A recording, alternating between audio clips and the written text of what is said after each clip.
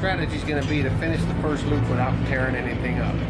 Get back to main pit and then just, I'm not going to really even charge the, the desert. I'm just going to cruise the desert, try to keep my position and not hit no rocks and come back in and then I'll be ready for the rock trails. That's where it's either going to be won or lost in the rocks because the rocks will take you out, but you're never going to win it in the rocks. It's the hardest course ever. We got more desert. It's over 200 miles to race.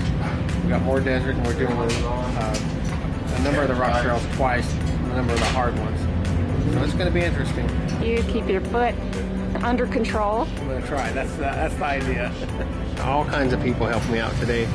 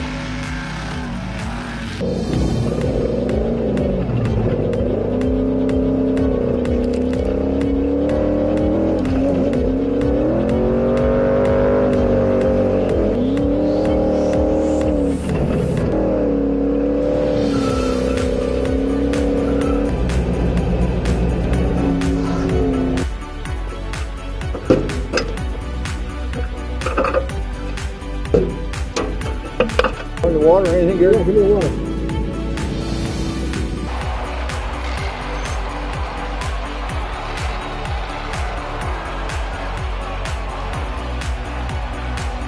Go down it without any horsepower, I'm roll over forward. Those guys winch me down forward, then they can get by. I'm, we, I, I'm plugging the trail right now, and there's another guy right beside me just plugging the trail.